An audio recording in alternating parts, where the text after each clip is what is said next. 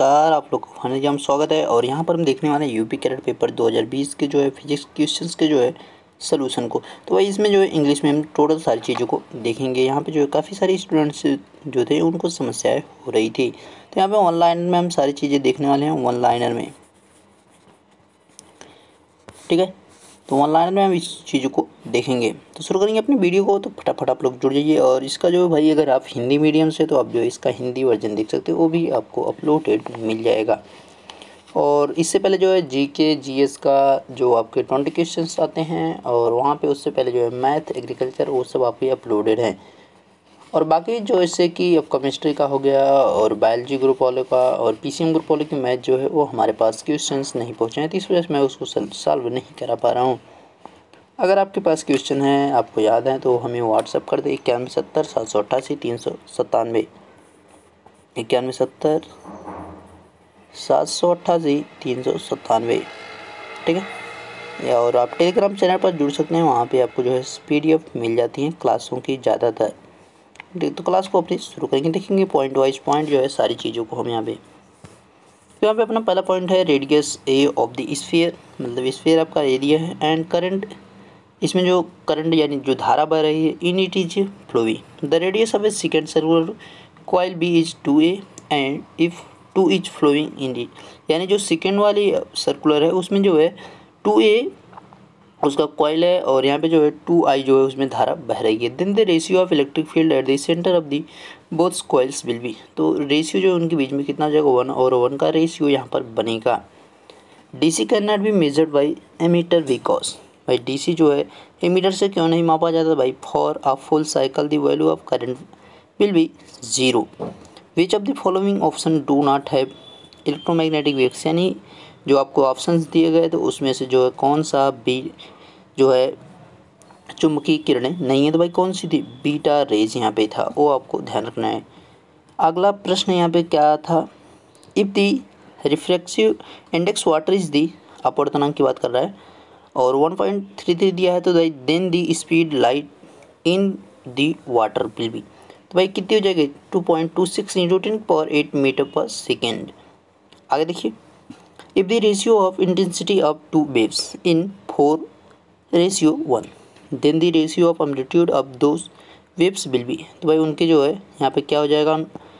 आयाम का जो है, अनुपात क्या हो जाएगा? टू रेशियो वन का हो जाएगा, ये आपको ध्यान रखना है। आगे देखिए। If the value of focus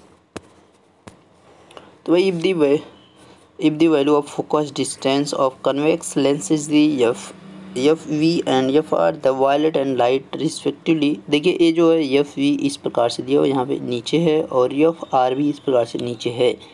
ठीक है? वायलेट एंड रेड लाइट यहाँ पे बैगनी और लाल की बात की गई, then the F V and F R for a convex lens then the V must यानी हमें किसकी ज़रूरत चाहिए? तो यहाँ पे किसकी ज़रूरत पड़ेगी भाई हमारे लिए? तो एफ़ वी और greater than F R and F V greater than F यहाँ पे हमारी ज़रूरत पड़ेगी। आगे देखिए how much energy will be the value of atomic mass unit to be equal यहाँ पे आपसे पूछा गया कि एक परमाणु भार जो है, इकाई का मान जो है कितना होगा? तो भाई नौ सौ इकतीस मेगावाट हो जाएगा।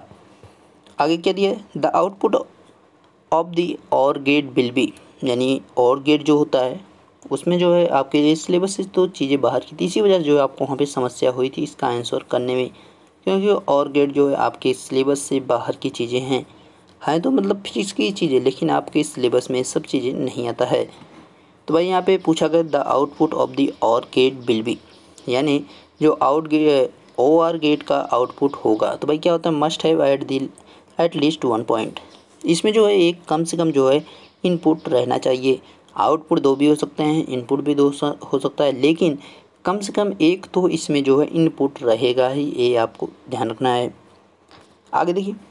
Which gate will be given the image display यानी आपको जो इमेज दिख रहा है, इसकी बात कर रहा है इमेज जो दिख रहा है, वो कौन सा गेट का तो भाई कौन से गेट का हो जाएगा? नॉर गेट का हो जाएगा आपको ध्यान रखना है, ठीक है? आगे in opticals fibre attenuation occurs primary by तो भाई यहाँ पे ऑप्टिकल फाइबर में जो है छीड़न किसके कारण होती है? मुख्य रूप से जो है, किसके कारण होती है? तो भाई die dispersion on the fire by dispersion of the fire, यानी उसमें जो है फैलाव के कारण होता है। जो फाइबर होता है, जब उसमें फैलाव होता है, तब जो है यहाँ पर उसमें जो है छीड़न होती है, यानी एटेंसनेशन होती है। An object can be charge an object can be charge तो भाई इसका जवाब क्या होगा? यानी किसी जो वस्तु को जो है हम कैसे आवेशित कर सकते भाई कैसे कर सकते हैं? बाई प्रोवाइडिंग एडिशनल रेडोक्ट्रॉन इलेक्ट्रॉन, उसमें जो है हमारे जो अतिरिक्त इलेक्ट्रॉन है, उनको जो है हम त्याग करके कर सकते हैं, उनको प्रदान करके कर सकते हैं, इस प्रकार से कर सकते हैं, और जो है हम इलेक्ट्रॉनों को ग्रहण करके, यानी आवेश की बात करें, हमारे पास ये नहीं कि मतलब धनावेश या ऋणावेश यानी निगेटिव और पॉजिटिव की बात नहीं कर रहा है तो यानी हम उसको जो है मतलब ग्रहण करके भी, अपने पास रख करके भी, और जो है यहाँ पे सब्सट्रैक करके भी ऐड करके भी, और सब्सट्रैक यानी हम त्याग कर भी और ग्रहण करके, दोनों तरह से जो हम यहाँ पे चार्ज बना सकते हैं। आगे देखिए earth electric potential is taken to zero because the earth is तो भाई यहाँ पे जो है, कह रहा है कि पृथ्वी जो है विद्युत विभव सुन लिया जाता है, ठीक है? इलेक्ट्रिक पोटेंशियल विद्युत विभव तो भाई सुन लिया जाता है। क्यों? क्योंकि because earth is a good यानी अर्थ एक अच्छा क्या है भाई? अच्छा क्या है? कंडक्टर है। अच्छा सुचालक है, यही भाई यहाँ पे बताया गया है, ठीक है? यानी अर्थ का जो है, विद्युत विभव हम ज़ीरो लेते हैं। क्यों भाई? क्योंकि पृथ्वी एक अच्छा सुचालक है। आगे देखिए।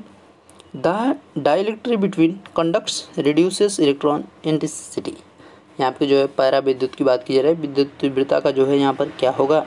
तो अप टू ज़ीरो यानी ज़ीरो तक जो है, इसका हो जाएगा। ठीक है? In order to find the internal resistance of a cell. The equilibrium point in the point meter is the determined electric current in the voltmeter is caused by the auxiliary battery यानी जो उसमें battery सहायक battery लगी रहेगी, उसकी बात की जा रही ऑक्सिलरी मतलब सहायक होता है। सहायक के लिए देखते हैं ना। तो ऑक्सिलरी वर्ब होता है तो वैसे जो है, यहाँ पे सहायक जो बैटरी वो जो हमारा परिपथ रहेगा, जो सर्किट रहेगी, उसकी बात की जा रही है। सर्किट में जो लगी रहेगी बैटरी उसकी बात की जा रही है। ठीक है? The SI method has unit of the magnetic variant the यहाँ पे भाई ये क्या है, कह रहा है? इसका कहने का क्या मतलब है? जैसा जो यूनिट है, उसकी किसकी बात कर रहा है भाई?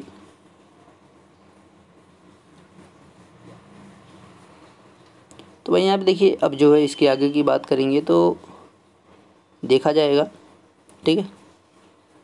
सारी चीज़ें यहाँ पे दी हुई है, आपको जो है आराम से मिल जाएँगी।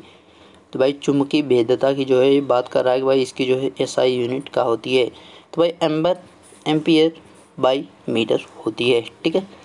यहाँ पे चुंबकी जो है, विद्युत चुंबकी जो है भेदता की बात कर रहा था भाई उसका जो है मात्रक क्या होता है एस आई यूनिट में। अगला प्रश्न देखिए यहाँ पे क्या है। If there is a number of the revolution in a coil then which spontaneously will charge तो भाई यहाँ पे चार्ज क्या होगा उस किसी कुंडल में जो है यन संख्या में? अगर मूविंग हो रही यानी घुमाव हो रहा है तो भाई उस पर जो है चार्ज क्या हो जाएगा? स्पॉन्टेंशियल मतलब स्व प्रेरकत्व की बात कर रहा है तो भाई कितना चार्ज हो जाएगा इस पर यन स्क्वायर हो जाएगा। आगे देखिए।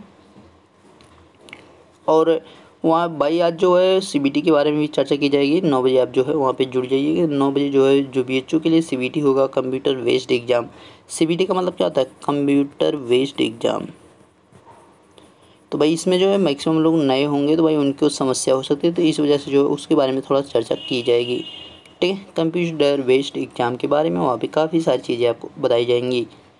और अगर आपके पास भाई हो चीज़ें मतलब क्वेश्चन आपके पास हो तो उसको ज़रूर भेज दीजिएगा व्हाट्सअप कर दीजिएगा ताकि मैं जो है उन पर भी वीडियो आपको आराम से बना के पहुँचा सकूँ। ठीक है? आगे देखिए, आगे क्वेश्चन क्या है? If a L C R circle यहाँ पे जो है आपको एक परिपथ दिया हुआ है तो भाई सी इक्वल टू जो है टेन एम यू दिया है म्यू दिया है म्यू ए है। म्यू दिया है म्यू एफ़ है। ठीक है? ये दोनों हमारे साथ ही में म्यू और एफ़ साथ में है। एंड डब्ल्यू इक्वल टू जो हंड्रेड रेडियस पर सेकेंड लिया है what will be the value of the motive in in it for the maximum value of the current यानी इसमें जो है, सौ प्रेरकत्व के लिए जो है, अधिक मान क्या, अधिकतम जो है, धारा का मान क्या हो सकता है? कितना हो सकता है भाई?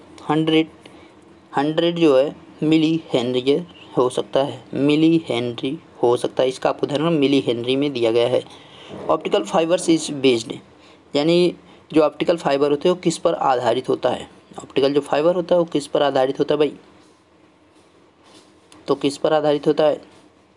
देखिए, यहाँ पे जो है फुल इंटर इंटरनल रिफ्लेक्शन यानी पूर्ण आंतरिक परावर्तन पे जो है, ये बेस्ड होता है। आपको देना पूर्ण आंतरिक परावर्तन पर यहाँ पर ही बेस्ड होता है। फुल इंटरनल रिफ्लेक्शन प्रिंसिपल पर if the reflective index of the equilateral prism is root three then the value of the minimum division angle will be sixteen degree हो जाएगा भाई। कितना बनेगा यहाँ पे? न्यूनतम कोण जो है, यहाँ पे अपर्तनांक आपको दिया हुआ है रूट थ्री तो भाई यहाँ पे टोटल कितना बन सिक्सटी डिग्री बन जाएगा। If an electron is accelerated by an electric potential of hundred volt its kinetic energy will be one point six into ten की पावर यहाँ पे माइनस सेवनटीन जूल हो जाएगा। ये आपको ध्यान रखना है, ठीक है?